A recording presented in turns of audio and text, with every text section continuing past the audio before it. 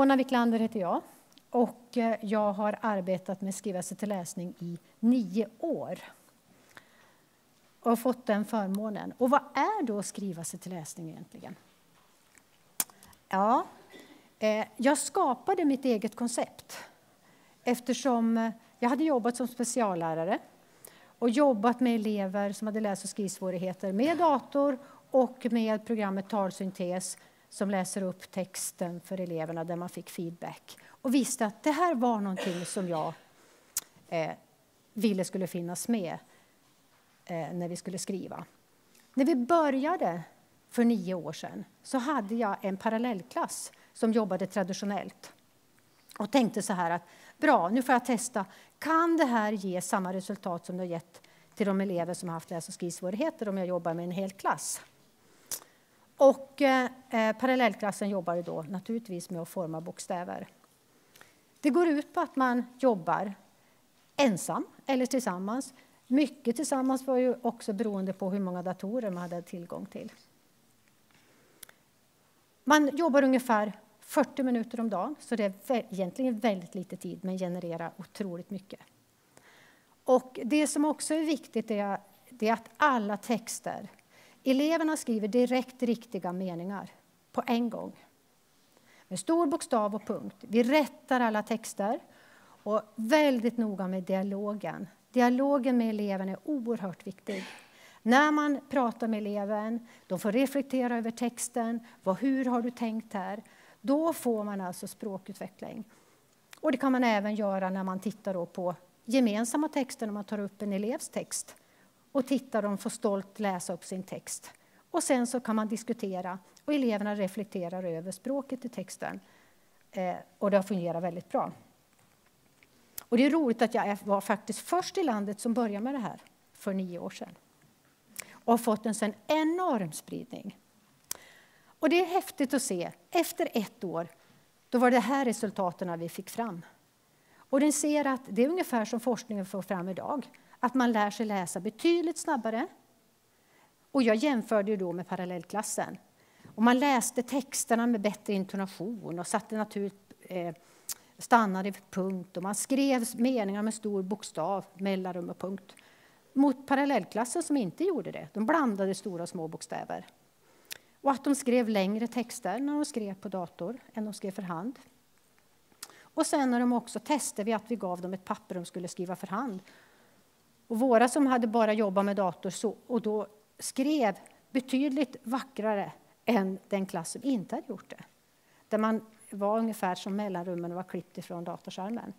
Och det här gjorde ju att eh, vi bestämde oss, när man har sett de här resultaten, då vill man ju naturligtvis fortsätta, för det, det fanns ju liksom ingen, ingen återvändo. Och det jag har sett, jag har alltså jobbat då nio år. Och jag kan säga idag att alla elever lyckas utifrån sina förutsättningar. Hur är det möjligt? Jo, eftersom man har ett ljudande tangentbord, så när eleverna skriver så hör de, de ser och får bekräftat. Vilket gör att de kommer ihåg och kan också korrigera sig själv om det blir fel eller rätt. Och det här passar alla. Det spelar ingen roll om man kommer till skolan med en bokstav eller om man kommer med en handfull bokstäver eller om man är god läsare eller om man är invandrarbarn eller vuxen analfabet. Det passar faktiskt allihop. Och hur kan man då lyckas om man kommer till skolan till exempel med ett par bokstäver? Ni vet hur det har varit förut. Vi har ju haft de här som, om man har till exempel koncentrationsproblem, då har de varit mer under bordet än de har varit på stolen. Och svårt att få dem inspirerade. För vikten är att man har lust och tycker det är kul. För alla tycker det är kul att börja skolan, eller hur? Men, eh, och hur ska man få dem här? Ludvig, som jag kallar honom, han kom till skolan med tre bokstäver. Otroligt omotiverad. Varför ska jag gå i skolan? Varför ska jag lära mig läsa? Varför ska jag vara här? Och han pratade och skrek och låg under bordet och ni vet, överallt var han. Och han ville sitta hemma vid datorn och spela Skylanders, det var hans liv. Eh, och, eh, men det var ju så här att jag vet att datorn kan också ge elever lugn och ro. Att det ger just den här feedbacken som de får, ger att de får alltså mer fokus på vad de gör. Och så blev det för Ludvig. Han, varje dag så satt jag hos honom. Vad tänker du skriva idag? Därför att vi ger ramarna och det är de som står för innehållet. Och så skrev han och så sa han, ja det här vill jag skriva idag. Och så skrev jag med versaler och han skrev av. Varje dag likadant. Och han var då var han jättestolt för att han kunde skriva dem. Och så lyssnade han på texten som han skrivit. Och så skrev han sitt namn och när vi hade korrigerat och rättat så skrev han ut det stolt och sa jag tar hem två. Farmor borde också få en. Ja, Okej. Okay. Och då är man ju jättestolt. Och han kunde läsa det han har skrivit själv, för det är en elevnära text, eller hur? Så höll vi på. Andra veckan, nej, det var 3 december, så satt jag med hos honom när jag hade instruerat alla. Och så satt jag med hos honom och så säger jag så här, vad ska du skriva idag? Du, sa han, är det så här?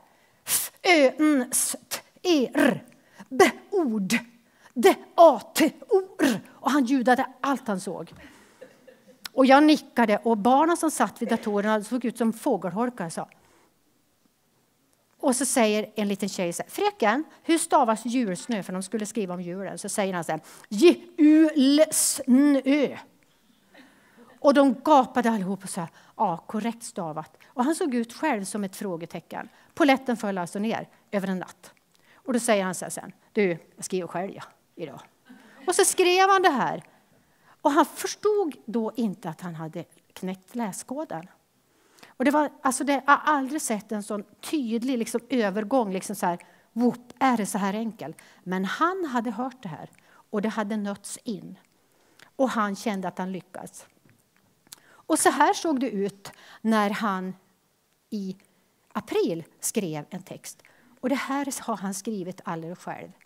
Och då sa han så här, jag trodde faktiskt inte att jag skulle kunna skriva så här. Ja. Ni ser vad som har hänt med hans text. Den här jag kan har försvunnit och han skriver en fantasiberättelse. Han fick två ord. Han fick om mamma och so, två lappar tog han. Person och plats. Och så var det fantasiberättelse.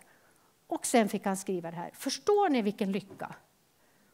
Hur man känner sig när man har skrivit det här.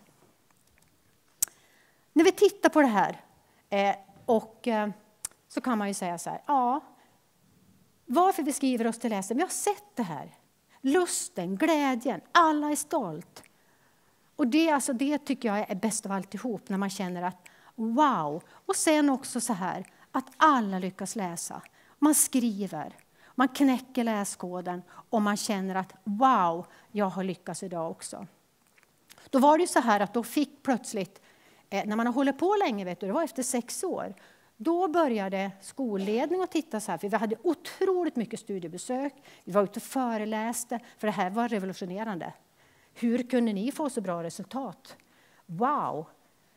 Så då kom skolledningen på att ja, kanske att du, ska vi ta och erbjuda det här till våra rektorer? Så det blev ett erbjudande till rektorerna om att är ni intresserade av att eh, skriva sig till läsning på era skolor. De fick gå hem och fundera. För Lars Walter som är grundskolechef han var noga med att det är ingen påtryckning uppifrån. Så nej, okej. Okay. Och eh, de gick hem och så träffas vi igen tillsammans med lärarna. Och alla sa wow, det här vill vi. Men då var det alltså att de skulle få förutsättningar att ha mig som projektledare, att vi skulle träffas en gång i månaden med nätverksträffar, handledning ute på skolorna, IT-support. Man måste få det här stödet, för man går från någonting väldigt traditionellt till ett digitalt lärande. Och eh, då blev det så här att eh, alla skolor, så hösten 2010 så körde vi ett projekt med alla skolor som satte igång och skrev sig till läsning. Samtidigt så sa jag så här att vi kan inte ha talsynteser på alla datorer om inte vi ger utbildning. För vad händer sen när de har kommit från trean och fyran om inte lärarna vet att det finns och hur man använder dem? Så då fick all personal utbildning i alternativa lärverktyg. Och eh, då kände vi så här, det här räcker heller inte. Nu ska vi ta och satsa på elever med dokumenterade läs och skrivsvårigheter. Då hade vi utbildning för dem, eh, där vi gick igenom i tre steg. Först att de verkligen kunde använda verktygen. Sen också hur man kunde skanna texter. Själv, idag finns skanningsmusen som är helt underbar, där eleverna själv skannar sin text direkt i datorn. Och tredje tillfället tog vi dem på biblioteket så de kunde lära sig läsa, läsa på andra sätt. Sen hade vi också föräldrautbildning som var otroligt bra. Till de här eleverna det kom 60 föräldrar som också kände att de behövde veta hur kan jag hjälpa mitt barn. Och 2013 så fick vi alltså forskning. 11. Titta, jag skriver fel. Ja. Usch då, naturligtvis 11, men det spelar ingen roll. Eh, 2011, det är 13. Ja. Precis, ja, visst då. Vi har haft sedan 2011 och tur, nu får vi tre års projekt till som eh, Eva och Maria har sökt. Då vi ska fortsätta att följa eleverna eh, från eh, trean och upp till årskurs fem. Och det känns väldigt bra. Men nu är det ju så här, fast vi har gjort det här så räcker inte det. Och det, det man har sett under när man har jobbat så här länge så är det så här att om inte vi medvetet jobbar med elevernas språkutveckling så kommer vi inte se, få en högre måluppfyllelse. Det var en rektor som sa så här till mig. Du Mona, eh, hur ser du resultat på skrivelse till läsning i årskurs 7? Ja, ingenting, sa jag. Va? Ingenting? Nej. Alltså det är ju så här, vi ger dem en jättebra grund. Men det är ju sen jobbet börjar, eller hur? För om, då måste vi alltså medvetet jobba med språket. Hur ska man jobba i årskurs 2, 3, 4? Ofta har man samma lärare i årskurs 1, 2 3, eller hur? Men sen så kommer vi till mellanstadiet och det är väldigt lätt att man då tappar den här biten. Hur ska vi jobba medvetet med språket? Och då känns det väldigt bra att eh, när vi diskuterade i Sandviken så sa vi så här, hur ska vi kunna få en förlängning på skriva sig till läsning? Vi jobbar med det i årskurs 1, vi har förberedelse i sexårsgruppen, men vi måste göra någon ny satsning. Vi har satsat väldigt mycket, men, och det är skönt när man kan satsa på hela kommunen, men vi vet också att resultaten som vi ser i rapporter idag, att att eh, de, de, det är ingen lovord på, på elevernas svenska språket, eller hur? När de kommer högre upp. Och därför så diskuterade vi det här och kom fram till att vi skulle skriva en ny språkplan, en språkutvecklingsplan. Vi skrev en plan i höstas som togs och eh, det är en språkutvecklingsplan som gäller från förskoleklass upp till årskurs 9. Syftet med den planen det är att skapa strategier för grundskolans arbete eh, för elevernas språkutveckling i alla ämnen. Och eh, det är nu jag känner så här, wow, nu börjar nästa jobb. Därför att naturligtvis så har vi tekniken med. Men hur ska vi jobba med språket? Vi har gett de här eleverna en bra grund. Och sen så måste vi se till att pedagoger får den kompetens de behöver för att kunna eh, hjälpa eleverna med deras språkutveckling. Jag har träffat många lärare som säger så jag vet inte hur jag ska jobba med det. Och då är det upp till kommunerna och det, därför är det väldigt bra att man då satsar, gör en hel satsning från förskoleklass till årskurs 9. Och den ska vi alltså börja med att implementera nu i höst. Så det är ett spännande arbete framöver. Jättespännande. Och eh, därför känner jag så här att vi pratar jättemycket teknik och datorer. De är suveränt. Men om vi inte har pedagogiken bakom det, då kan vi ta bort datorerna. För det är pedagogiken som gör skillnaden. Tack för mig.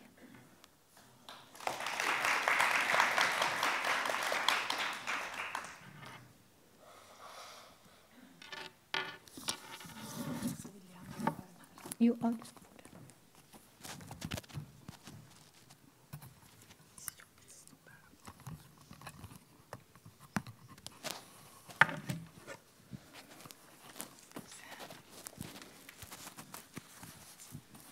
rätt nu då? Är det här rätt? Nej, det känns inte alls rätt.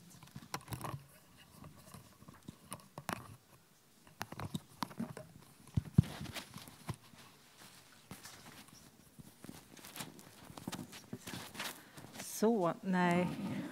Det här är inte rätt, Hur Är det? Ska den vara så här eh, liksom precis på kinden? Ja, okej.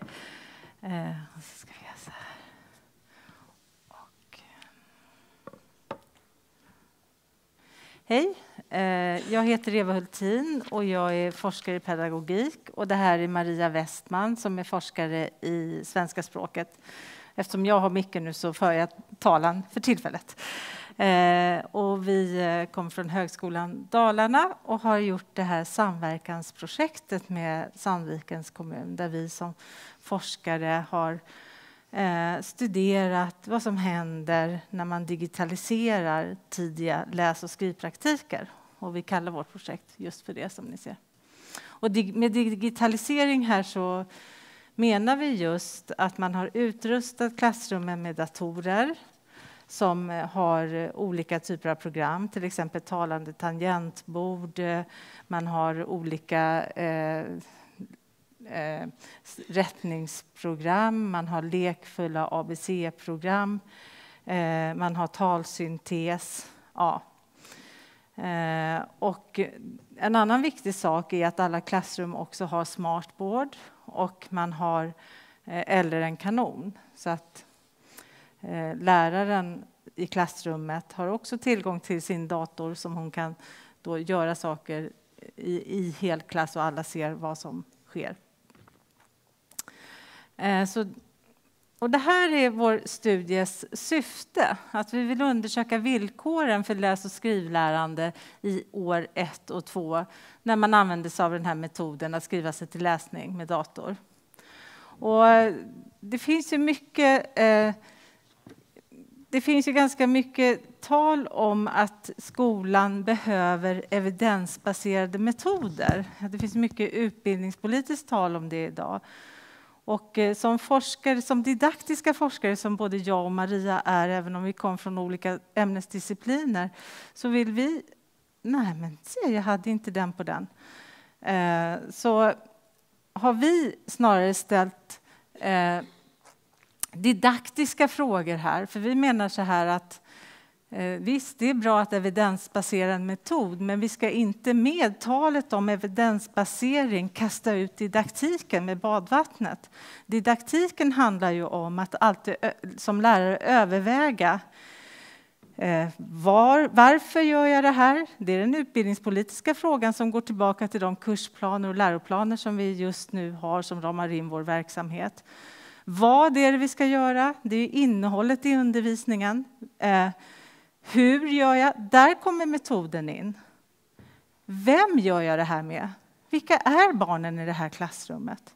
Och svaren på de här frågorna de bildar ju tillsammans ja, ett, en legitim undervisning som tar hänsyn till den komplexitet som finns i, i undervisningen. Och när man talar om evidensbaserade metoder som om det skulle vara möjligt att ha en universalmetod på vilket område som helst i undervisningen och säga att det, så här, det här funkar överallt, då tänker man inte didaktiskt. Sen är det aldrig fel att vi ändå, man tänker väldigt olika kring evidens och en del tänker inte så här svartvitt som jag nu presenterar. Men det, finns, det har funnits ändå eh, ganska mycket eh, diskussioner om att det är det här som skulle vara att vara professionell lärare. Att samla på sig en knippe evidensbaserade metoder och använda dem. Men i lärarutbildningssammanhang i ungefär 30 år så har vi jobbat med att, att vara en professionell lärare. Det är den läraren som kan träffa didaktiska val. Som kan just ställa de här olika frågorna om vad, varför, vem, när och så hur och till, låta de svaren på de frågorna tillsammans bli eh, det man gör i klassrummet. Och det vill jag ändå säga som en sån här liten inledning till det här. Och därför så ställde vi frågor, och nu har jag tydligen tagit bort den bilden från det här bildspelet. Våra forskningsfrågor handlar om Vilka erfarenheter gör eh, lärare när de eh, iscensätter läs och skrivundervisningen med hjälp av den här metoden? Vilka didaktiska möjligheter och svårigheter erfar de? Eh, vilka erfarenheter gör barnen? Eh, och en tredje fråga som vi tycker är intressant är den här metoden som ju nu har blivit väldigt populär i Sverige. Den implementeras i väldigt olika klassrum. Hur många här inne är eh, tidigare lärare och jobbar med det? Ah, ni är många. Och då vet ni alla att det inom, eh, inom läs och skriv har funnits vad en del till och med kallar för literacy war. Alltså det har varit en kamp om vad är den goda undervisningen? Och där en del, Eh, ett läger tidigare har sagt ja men det är phonics. Alltså det är att man utgår från varje bokstav, man utgår från bokstavsljuden och det är så man knäcker, eh, knäcker den här eh, läskoden. Och det har varit en tradition som varit väldigt stark, att man har undervisat på en bokstav i veckan och fram till åtta bokstäver och sen har man börjat skriva små texter utifrån de här bokstäverna och så. Och det ska vara systematiskt och så vidare. Va? Sen har det funnits en annan del, eh, en annan, en annan del, eh, del i det här kriget då, som har sagt nej, nej, nej, så ska man inte göra. Man ska utgå från helheten och de talar om whole language. Vi ska börja med att läsa hela texter och det ska vara ett meningsfullt sammanhang. Och sen ska man från den här helheten bena sig ner till delen. Nu säger många att ja, men det där kriget är för länge sedan över. Ja, det är mycket möjligt, men vi kan ändå föreställa oss att de här, den här didaktiska diskussionen som har varit väldigt intensiv bland både praktiker och forskare de senaste 30 åren. det med. LTG till exempel som kom på 70-talet skulle kunna ses som en whole language-tradition. Eh, eh, de finns, de finns som spår i olika undervisningspraktiker i Sverige. Och tar man till sig den här metoden då, så blir det kanske på ett olika sätt om man utgår från bokstaven eller om man utgår ifrån helheten. Alltså, det var en sån fråga vi hade med oss in. Vad spelar det för roll hur sammanhanget ser ut när man ska genomföra det här? Ja, och nu lämnar jag över ordet. Jag ska försöka, jag ska försöka prata i den här för att se om det går. Jag tänkte prata lite grann om vår studie och hur den är designad. Då. Eh, vi började ju som sagt redan 2011 vilket innebär att vi följde då en grupp av lärare och elever som eh, började årskurs 1 och de går nu i årskurs 2. Och vi har designat en etnografisk studie. En etnografisk studie innebär att vi har gjort eh, deltagande observationer. Vi har alltså varit med i klassrummen, vi har sett vad som har hänt. Eh, och vi har deltagit i två olika klassrum och följt med eh, i undervisningsförlopp och eh, gjort intervjuer med både lärare och elever. Förutom det så har vi också använt oss av en eh, annan intervjumetod, nämligen att i det här som Mona pratade om, eh, de här projekten som startar i årskurs 1, där samtliga lärare som vill vara med då har en gång i månaden har de ett möte tillsammans med Mona som projektledare, där man eh, tillsammans går igenom problem och hinder och möjligheter och vad som går bra och vad som, vad som man uppfattar som svårigheter. De eh, projektmötena har vi också observerat. Så man kan säga att vi har gjort nedslag i praktiken i två olika klassrum, men vi har också provat de resultat som vi har fått i den stora gruppen. Så att vi har eh, ett mindre eh, observationsmaterial och ett ganska stort material där vi på något sätt har försökt att lyssna in och höra vad den stora gruppen också, hur de kommenterar det här. Förutom det så har vi också samlat eh, texter från eleverna. Och vi är som sagt var inne på årskurs två nu.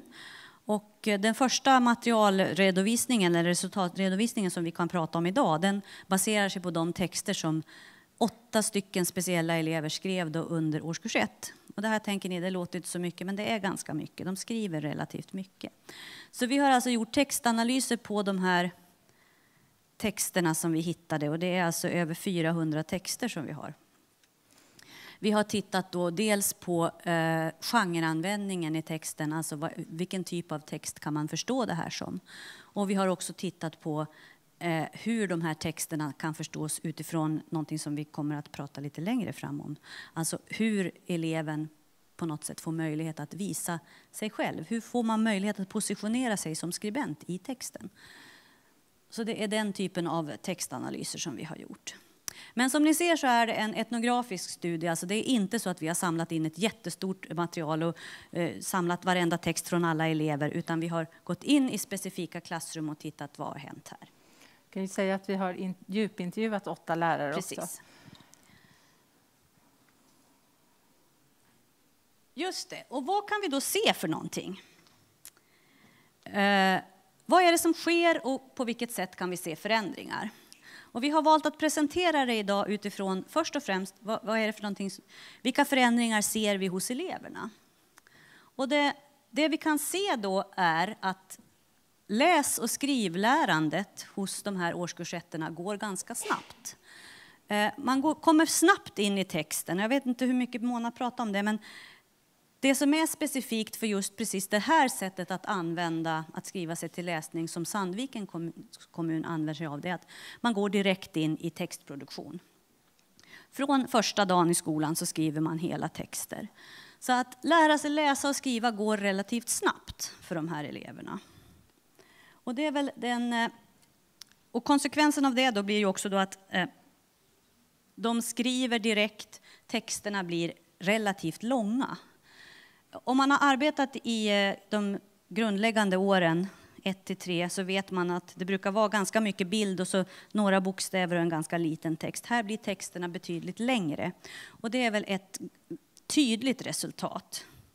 Texterna blir längre och de blir också fler. Och det kan vi ju se utifrån det materialet som vi faktiskt har samlat in. Då. För de texter som vi har samlat in är då ganska många och det var då fram till påsk förra året som vi samlade in. Då. Eh, en annan tydlig effekt som vi, vi, menar spelar roll för att den här metoden ska fungera, det är det som vi kallar för metaspråkliga diskussioner. Och eh, det innebär att eh, den digitala tekniken leder till att barnen blir medvetna om andra saker än vad de blir medvetna om när de använder penna. Och, eh, till exempel beror ju det på de här eh, verktygen som man får.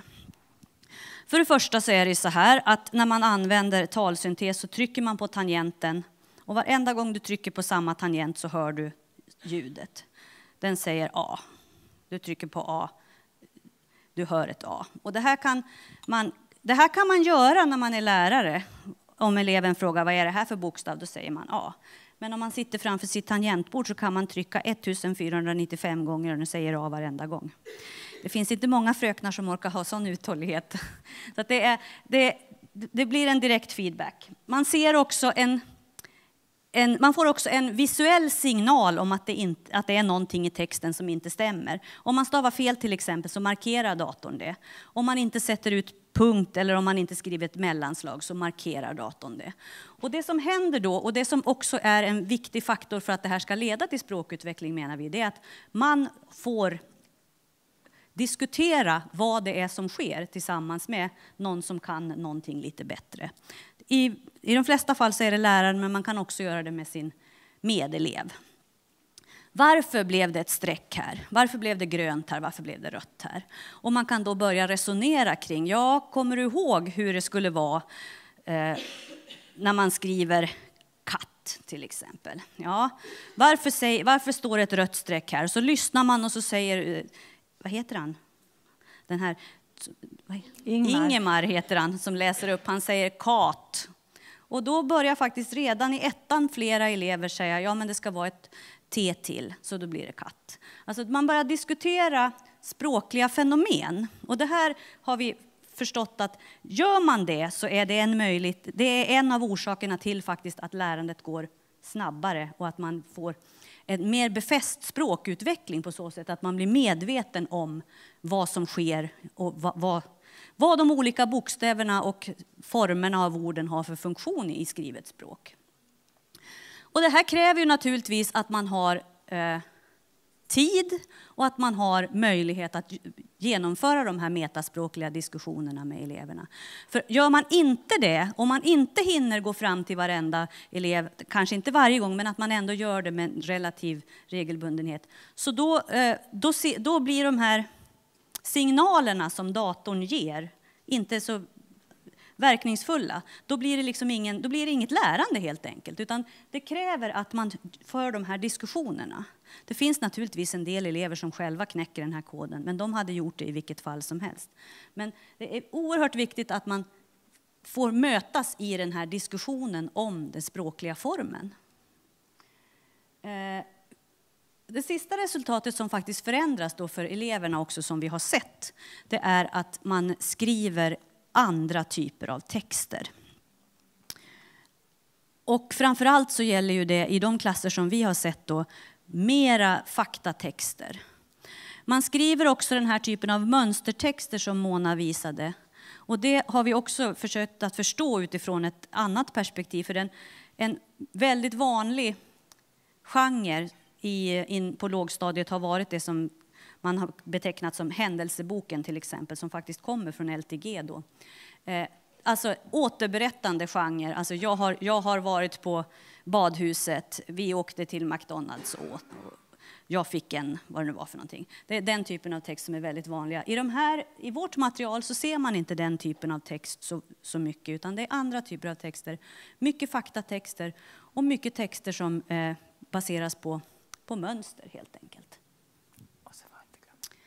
Och en viktig faktor, det är ju också att barnen inte bara får läs och skrivlärandet, utan de får också en, en eh, förstärkt digital kompetens. Vi har en bra historia om det där.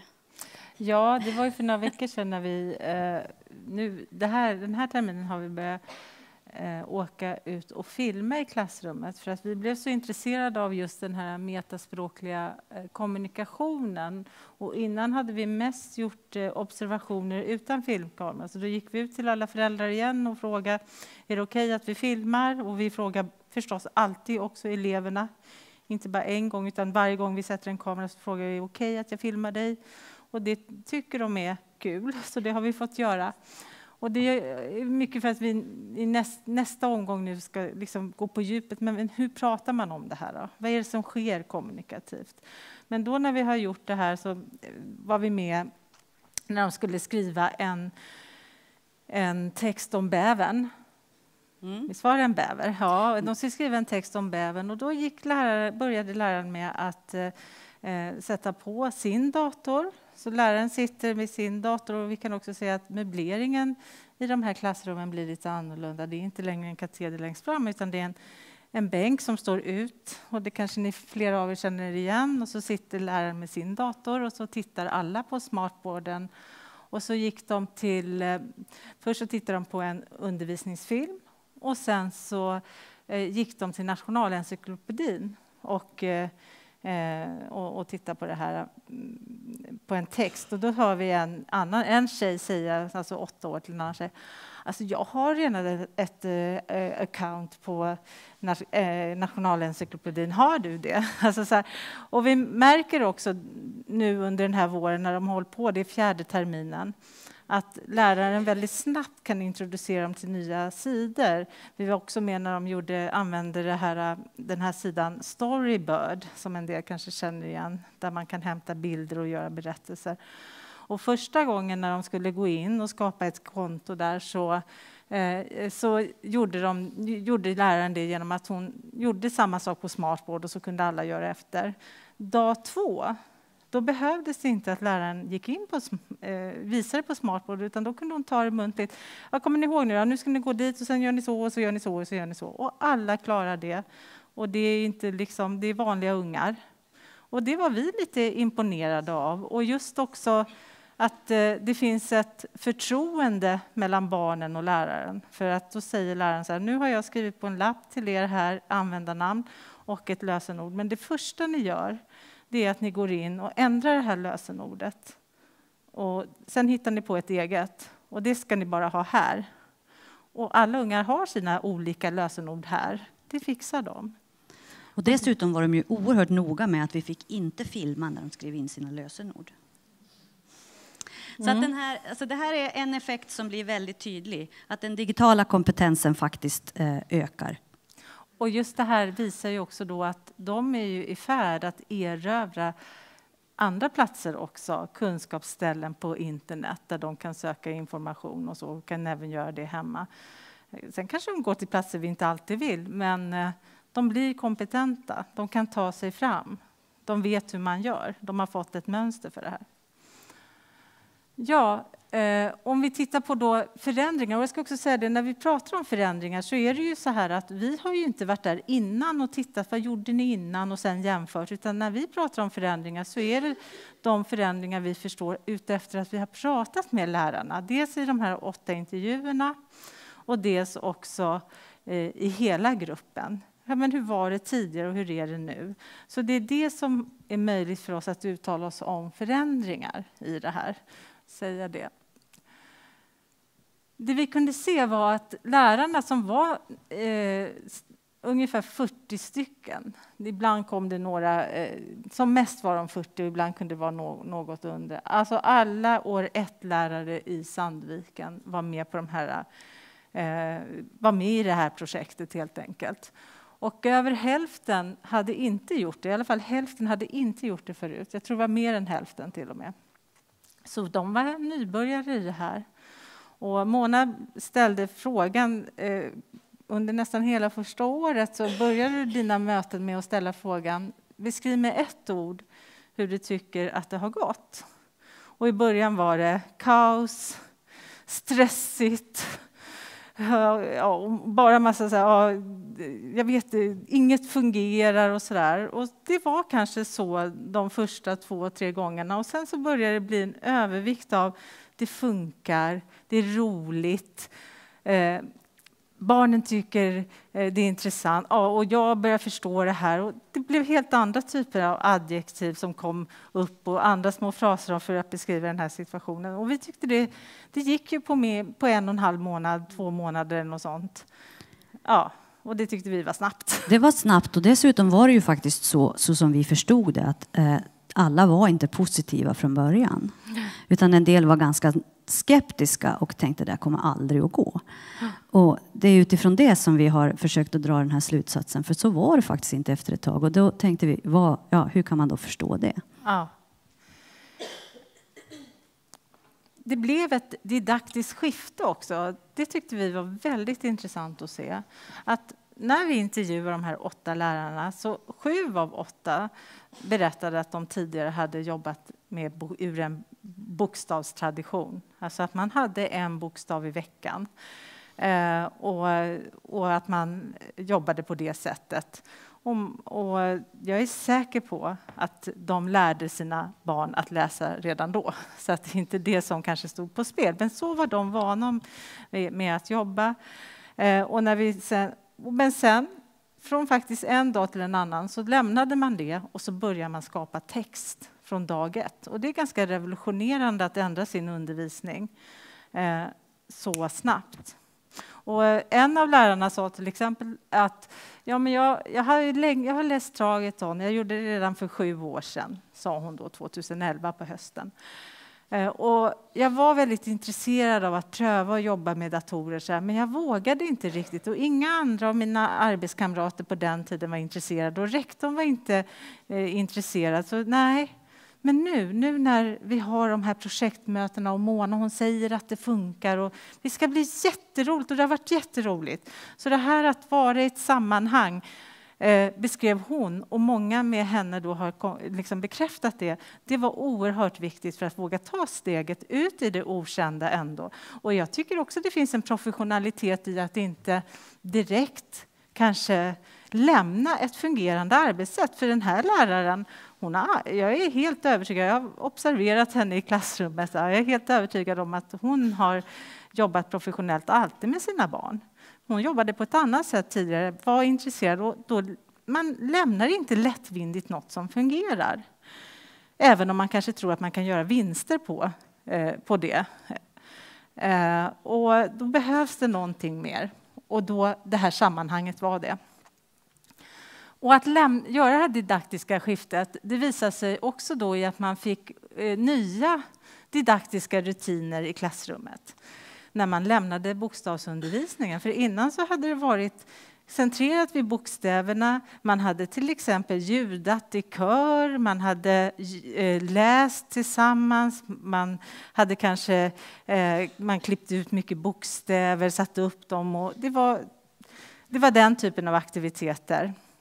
När man nu började skriva text så försvann helt den formella undervisningen i ljudning. Den fick man ju genom det talande tangentbordet. Ljudandet finns med precis hela tiden, men det, man behöver inte ha någon formell undervisning på det. Istället så blev det då så, precis som jag lite antydde här när vi talade om bäven, att när man skulle börja skriva en text då började man med att etablera en kunskap tillsammans. Och det här påminner ju väldigt mycket om skrivprocessen som ju säkert många av er känner till. Att man har en förberedelsefas, man har en skrivfas och man har en efterfas. Och man började med en gemensam förberedelsefas där man eh, tar reda på saker om till exempel björnen. Man skriver mycket om de nordiska djuren till exempel i år ett. Eh, och man ser en liten film om björnen, man läser kanske en gemensam text om björnen och sen så säger läraren, men vad är det nu för fakta som vi ska eh, ha med i våra texter? Och då kommer det massa förslag från barnen. Dels kommer det förslag från filmen. Eh, så och så många björnar finns det i Sverige. Ja, då skriver man upp det. Eh, björnen äter ba, ba, ba, ba. Då skriver man upp det. Och så kanske någon säger så här min morfar såg faktiskt en björn förra veckan, för det här är ett björnrikt område. Det kommer inte upp på tavlan. Det kan man tycka kanske, ska inte barnens erfarenheter vara med? Men vi har ju analyserat de här texterna sen, som Maria ska visa, just som en faktatext, en rapport.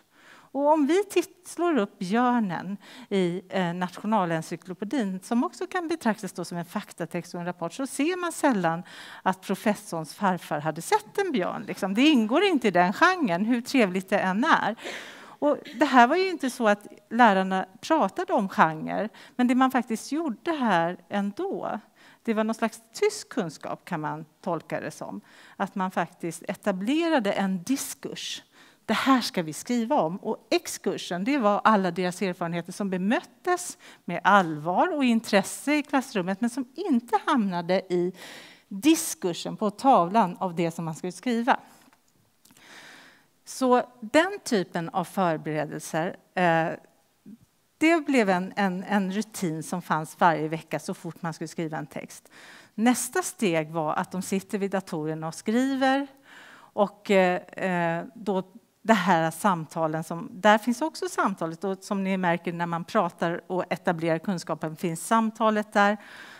Det man kan säga att det här arbetssättet kanske skiljer sig från den traditionella skrivprocessen det är att när man har datorer då gör man mycket av det man gjorde i efter bearbetningsfasen, det gör man samtidigt. För Eh, självklart läser man igenom och innan man får trycka ut den så ska man ha läst igenom den för läraren. Så visst, bearbetningsfasen finns där.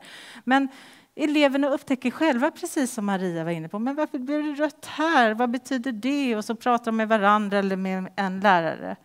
Och nu när vi har varit ute, och man kan förekomma våra analyser lite, men vi har ändå märkt innan vi ens har studerat våra filmer att pratet har blivit lite mer avancerat. Nu säger man, ska det vara två L här? Alltså i ettan så var det, varför blir det så här? Nu ställer man ganska direkta frågor om stavning till exempel. Ja, och det finns ett fokus. Det här ser vi som en, en, stor framgångsfaktor. Men jag satt inom parentes, för det här kan mycket väl ha funnits innan. Alltså att det finns ett fokus på att barnen ska eh, känna sig lyckade och vara nöjda och vara glada för sina texter. Men som sagt, det tror jag är en, en, en professionell attityd många av de här lärarna har haft hela tiden och kanske är viktigt oavsett vilken metod man har.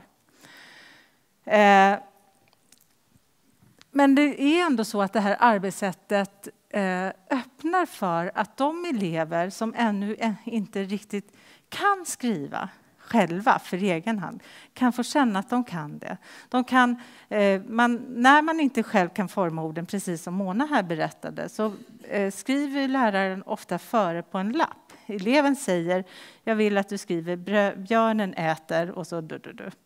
Skriver där, läraren det på en lapp och sen så skriver eh, eleven det på datorn. Det var en, en liten kille som jag speciellt noterade då i andra ja, på vårterminen eh, i ettan. Eh, han skrev efter på en lapp hela tiden. Och han eh, hade faktiskt, när vi sen analyserade deras texter så såg vi att vi redan i hans andra text på höstterminen i ettan så skrev han ”Jag kan skriva”. Så för honom var det viktigt att visa att han var en som kan skriva. Han, rent formellt skulle vi säga att han inte kunde skriva, men han uppfattade det så. Eh, och han skrev efter. Och han kunde alltså känna sig som en som kunde skriva långt innan han formellt kunde det. Och eh, vi kan gå till den amerikanska eh, läs och skrivforskaren Smith som säger att det är otroligt viktigt att, att barn vill bli skribenter. Och han uttrycker det just genom att man, kan bli, man, ska, man ska vilja bli medlem i de skrivkunnigas förening. Och när man blir medlem i en förening så handlar det inte om att man redan kan det. Ska jag, vill jag lära mig skjuta eller vill jag lära mig simma så behöver jag inte komma dit och säga eh, att, då behöver jag inte kunna det, utan jag kommer dit för att lära mig det. Jag har en vilja. Och han menar att det är den viljan som vi måste åt. Eh, och då menar vi har sett inte bara med den här killen, men i hans fall var det väldigt tydligt att han kunde behålla den viljan hela tiden och också känna sig som en skribent. När han kom i år två sen, tidigt på hösten när vi var där, då behövde inte han en lapp längre. Och då var han också en som var en av de första att bli klar med sin text. Och det var han jätteglad för. Och då kanske han bara hade skrivit fem, sex meningar. Tidigare på vår, eh, året innan då, då hade han fått sitta tre dagar när kanske de snabbaste satt en dag. Eh, för honom var det väldigt betydelsefullt att plötsligt få verkligen visa, gå fram med sin text och kunna visa nästan alla att jag är en av de första. Och läraren då, hon var klok nog att inte pusha på sig, men ska du inte skriva lite till? Utan låta honom få vila i den här känslan, att det var bra. För det är också någonting som vi har funderat mycket på och som vi kommer återkomma med längre fram. Relationen mellan å ena sidan att, eh, eh, ursäkta, att å ena sidan ge barnen verktyg så att de kan skriva kanske bli bättre skribenter, lära sig mer om form, till exempel hur skriv, vad är särdragen i en berättelse eller i en faktatext och så vidare. Det är viktigt, men det är också viktigt att få få mängdskrivning eh, och att känna att, det, att man duger precis här och nu, precis som det är också. Och en balans mellan det bekanta och det obekanta då, det är det som är otroligt viktigt. Och den balansen den ser ju olika ut för varje barn och där är det väl en didaktisk utmaning för läraren att kunna känna med fingertoppskänsla när man ska utmana ett barn och när man ska låta den vara helt nöjd med som det är, eller hur? Och det kan inga metoder på förhand liksom hjälpa läraren med, utan där kommer lärarens professionalitet och klokskap in, skulle jag säga. Ja, det vi har märkt det är att ja, det här är ju något som man ofta säger att det räcker inte med att bara kasta in en dator i klassrummet. Det behövs någonting mer för att det ska bli utveckling. Och vi upptäckte att både barn och lärare behöver förstås pedagogiskt, ett pedagogiskt koncept och ett pedagogiskt ledarskap. För de här två sakerna ger ett pedagogiskt stöd om man ska förändra sin verksamhet. Det räcker inte. Ni vet hur många gånger man vill kasta sin dator i väggen liksom, eller bilen, om man nu var så stark, när de inte fungerar. Man måste ha både adekvat utrustning och man måste få omedelbar support när det inte funkar. Så det här är ju något, och Mona är ju som en, eh, en brännlampa på dem i kommunen och, och eh, ser till att det finns en support. Och hon säger till lärarna att får ni inte hjälp direkt, ring till mig så kommer jag springa efter dem så de kommer. Så anställ Mona. Nej, men alltså jag tror man måste vara väldigt eh, eh, noga med att, att det här behövs för att eh, vi lärare kan inte trolla med knäna. Får vi inte rätt liksom, support? Och Maria, du var också inne på att det tar tid. Och det är också något som alla lärare har vittnat om. Det här tar tid. Man behöver ofta vara i halvklass för att det ska fungera. Ja, vill du ha den här? Nu när du ska ta den här. Det gör Nu gör vi en fördjupning. Ja, vi tar en liten snabb eh, djupdykning in i vårt material. Och jag pratar om de här elevtexterna. Eh, vi hinner inte så jättemycket, men jag vill ändå visa er. Eh, vi pratar om att de skriver fler texter och de skriver längre texter. Och det här ser ni då är då, vi är lite lata, vi har inte orkat översätta från när vi var i Kanada förra året och pratade om det här. Då hade vi den här bilden. Det är därför det står på engelska, men jag tror att det går bra. Va? Eh, ni ser att från eh, 18 september till eh, påsk så samlade vi in 417 texter från de här 12 eleverna. Det är ganska mycket text för en som går i ettan. Ni som har jobbat i ettan och tvåan och trean vet att det är inte så att man för hand lyckas knåpa ihop 417 texter, 12 stycken. Så det är, eh, och det ser att eh, om man tittar till exempel på flicka 3 från eh, skol, eh, eh, skola A där så var ju det en elev som var väldigt duktig att skriva när hon kom.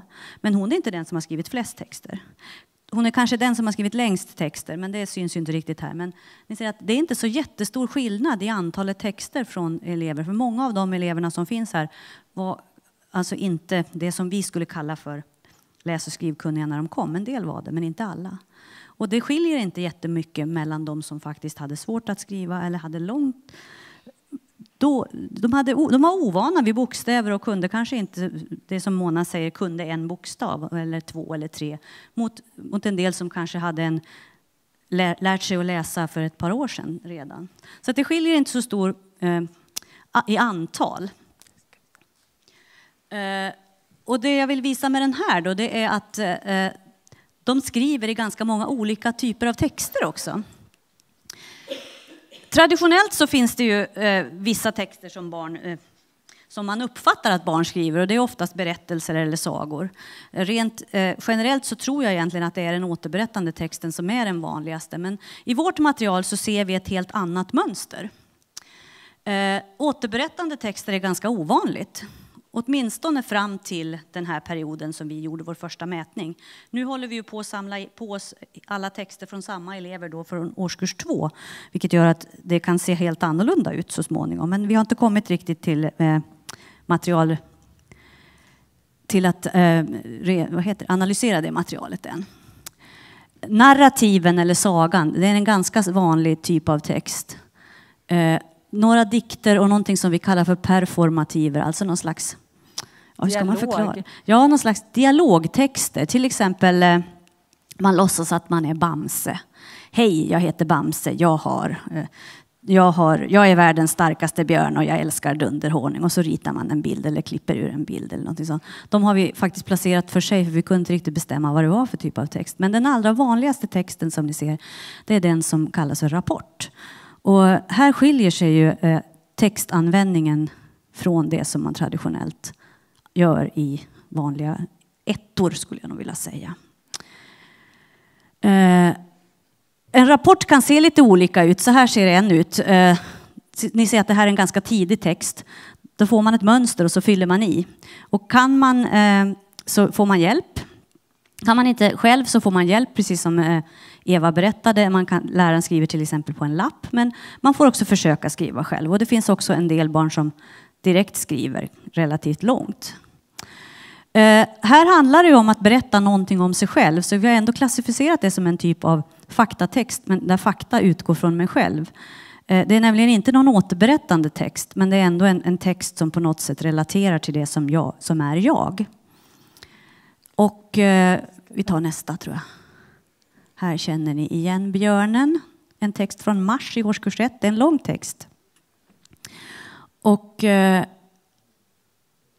här ser ni att det finns väldigt många drag som är typiska för just den här faktatexten. Morfar är inte med till exempel.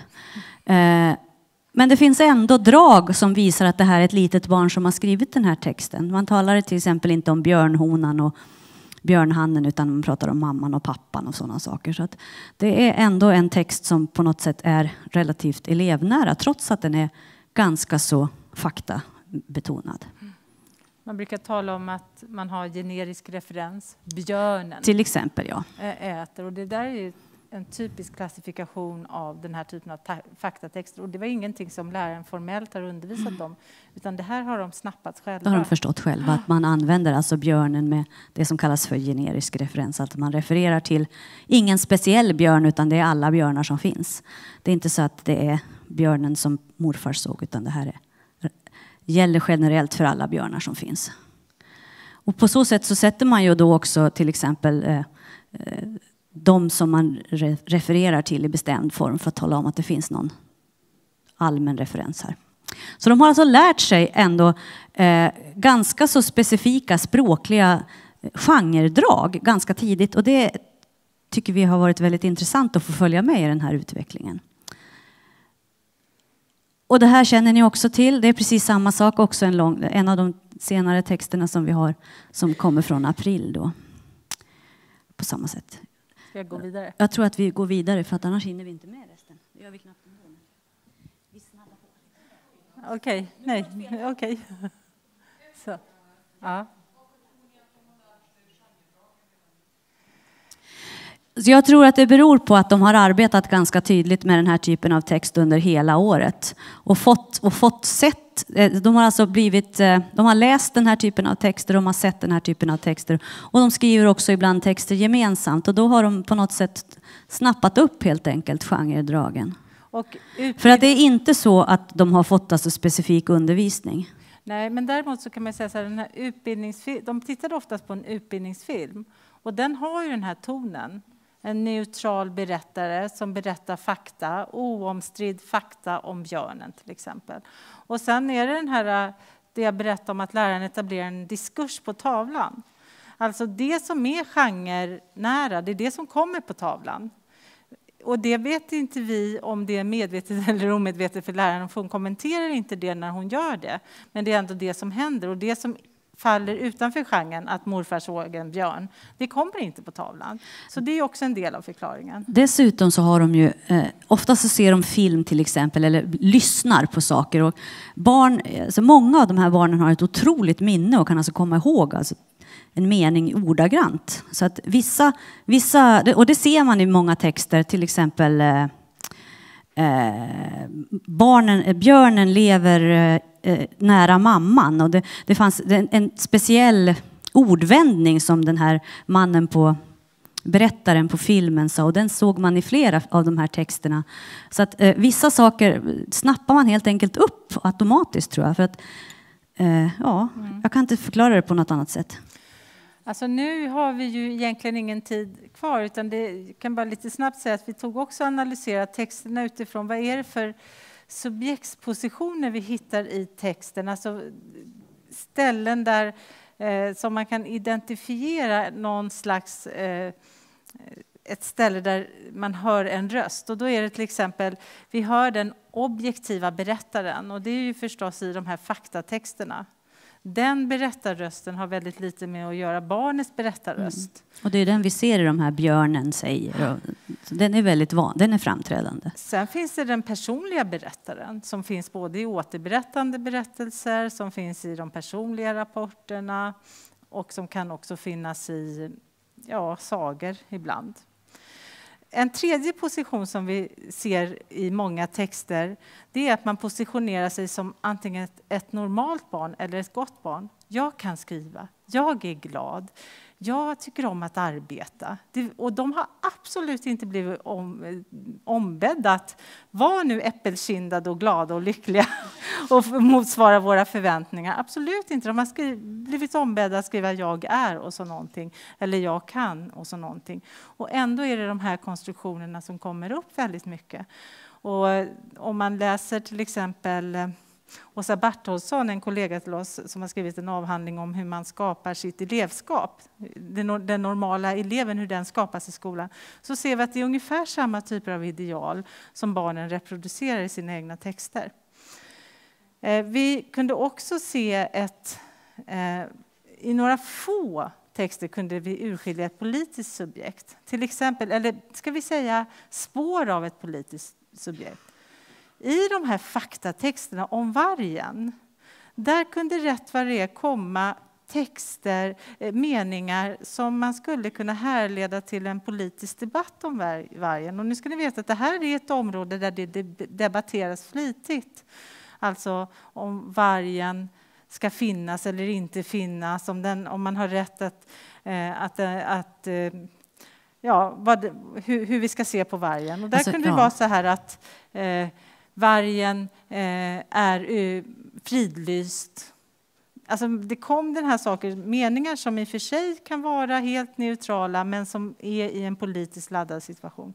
Ja, sådana här saker kom också då till exempel att vargen har aldrig dödat någon människa. Nej, och det, precis om man läser det i en faktatext rakt upp och ner om vargen så förstår man att det finns, att den typen av åsikt finns i ett politiskt sammanhang. Att det är någonting som ändå är en debatt. Det är väl mm. och utifrån så det vi har förstått det som. Precis, och där menar vi att där finns det en potential att använda skriv, läs och skrivundervisningen mer än vad man kanske gör till att fråga barnen vad de vill och vad de tycker. Eh, för får de de frågorna så svarar de på dem. För det handlar ju om den här andra sidan, att det är visst, vi ska bli bättre skribenter. Men skolan har också ett demokratiskt uppdrag där det handlar om att vi ska vilja säga något också. Och vi ska känna tilltro att någon vill lyssna på oss. Vi ska tro att vi kan delta i en politisk diskussion som vuxna och vi ska bli förberedda för vårt demokratiska medborgarskap. Och det, det är ju någonting att ställa frågor om. Vad vill du skriva om? Att alltså inte bara ha fokus på hur ska du skriva det här för att nå målen hit och dit, utan också vad vill du uttrycka och vad vill du säga?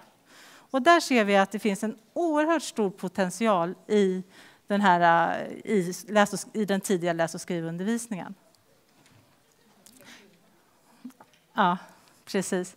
Och så bara kort, ett estetiskt subjekt skymtade fram i dikterna också, där man var, liksom, pratade om färg, form och sådana saker. Ja. Ja, och med de orden så tackar vi för oss. Tack.